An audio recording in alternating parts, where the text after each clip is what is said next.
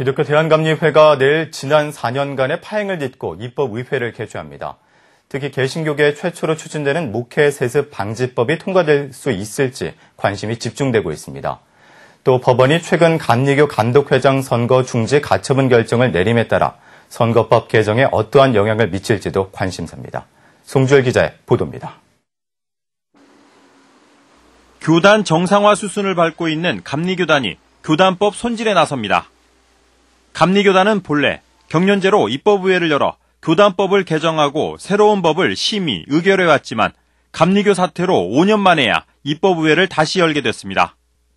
이번 입법의회의 최대 관심사는 개신교 최초로 추진되는 목회 세습방지법이 통과될 수 있느냐입니다. 감리교단은 담임자 파송 제한 조항을 신설해 부모와 자녀가 연속해서 한 교회의 담임자가 될 수 없고 담임 목사의 사위나 며느리 등 가족들도 세습할 수 없도록 했습니다.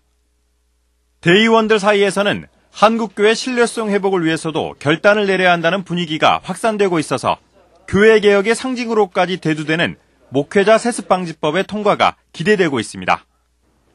선거법 개정과 관련해서는 대의원들 사이의 의견이 분분할 것으로 예상됩니다. 법원이 최근 후보자 자격 논란을 빚은 감독회장 선거와 일부 연예 감독 선거를 중지하라고 가처분 판결을 내림에 따라 선거법 개정에도 적지 않은 영향을 미칠 것으로 보이기 때문입니다.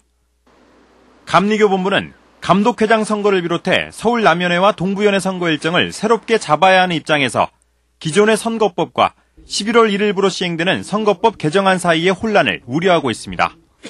입법의회의 이 가처분에 또 어떤 영향을 줄 것인가 이런 것도 나도 지금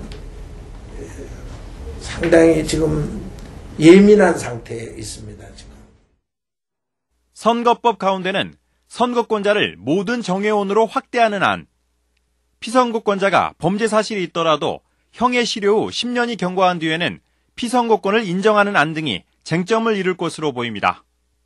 또 감독회장과 감독 후보자 자격 논란의 빌미를 제공했던 부담금 납부 문제에 대해서는 4년 동안에 각종 부담금 완납 확인서를 제출하도록 해 법안 통과에 관심이 모아지고 있습니다. 한편 기독교 대한감리회 제29회 입법의회는 대의원 442명이 참석한 가운데 정동 제1교회에서 열리며 대의원 과반수 찬성으로 법안 통과가 이루어집니다. CBS 뉴스 송결입니다.